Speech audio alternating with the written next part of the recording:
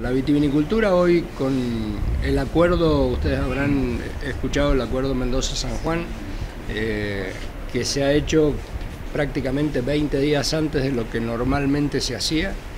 Eh, apenas tuvimos el pronóstico, nos juntamos a hablar, eh, ya previamente lo habíamos hecho, así que tuvimos un total acuerdo en ese 17% y creemos que la salida está en exportación. Hoy no hay derechos de exportación hay un tipo de cambio más acomodado, se puede discutir cuánto, pero más acomodado que el año pasado.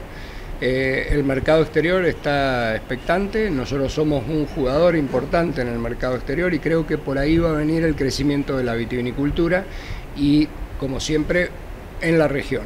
¿Es alentador el panorama, digo, en cuanto a exportaciones? El panorama es alentador porque nunca hemos tenido cero de retención. Hace te diría 20 años.